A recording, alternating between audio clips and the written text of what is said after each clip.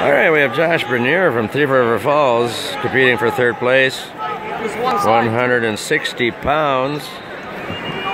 Class double A. First period, no score.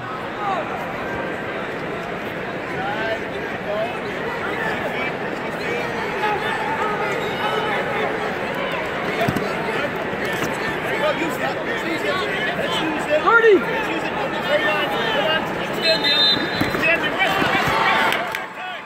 down Bernier. Going for third place.